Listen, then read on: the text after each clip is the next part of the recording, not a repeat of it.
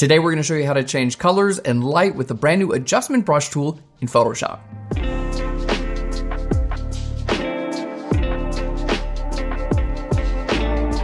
So we're in our full build of Photoshop 2025. Make sure you update because this used to be in beta. Now you're gonna see this brand new tool, this adjustment brush tool. And basically what this allows you to do is simply start painting in anywhere you want and then change things like your brightness and contrast, your exposure, your vibrance, hue saturation. You can make it black and white, add some, you know, like yellow or blue photo filters. You can do so many things with these tools.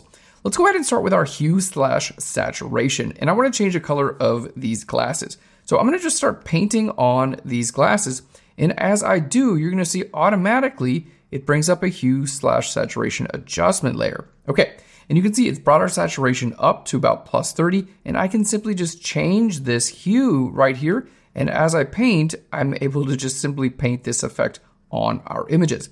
So with, while this is a new tool in Photoshop, it's not necessarily giving us something that we couldn't do before, okay?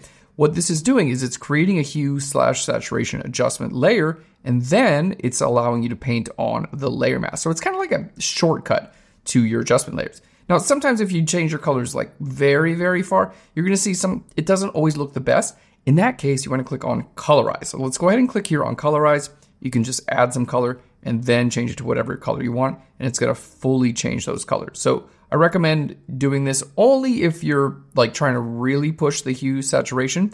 Normally, you can just unclick colorize and just move it a little bit, and that's going to work a little bit better. But if you want to go very far, you're going to see like sometimes it just doesn't look good with like the yellow. So then click on colorize, and then you can bring it to yellow and then adjust your saturation, and that looks really good. This is really cool because you can actually apply it to individual objects as well. So let's go ahead and check this out. We're going to our next image here, and we have this image of the fish. So we can, again, start by choosing what you want to actually do. Maybe you want to change your brightness and contrast. Maybe you want to change your exposure. So let's start with there. We're going to hit apply to object and then simply go over here and click on that object. There we go on the fish. And I'm going to be able to adjust the exposure of our fish. So you have all these three sliders that you can do, your gamma, your offset, and your exposure. This is looking really good. And as you can see, if I go back to my layers, Basically, this just makes an exposure adjustment layer and it automatically makes that layer mask because we applied it to an object. I can just turn this off and on at any time, which is nice. Okay, check this out. We're gonna do one more thing here. Let's go ahead and we're gonna add a new adjustment. So let's go ahead and click on add a new adjustment. I wanna change the colors again. So let's go to hue slash saturation, okay? And then we wanna apply this to an object. So go right to apply object and then go ahead and click here on your object. Boom. And now I can start to change the hue as well. So you can see you can do this multiple times within the same image and you're going to be able to get a lot of different effects. I like this purple. Look what it's doing right there with the scales. This is super sick. Now let's go back to our layers because this sets us up with a hue saturation adjustment layer and then a layer mask. I can actually just click here on my layer mask and start to do some effects. Like if I go to my gradient tool, right? Let's go ahead and click on our gradient here.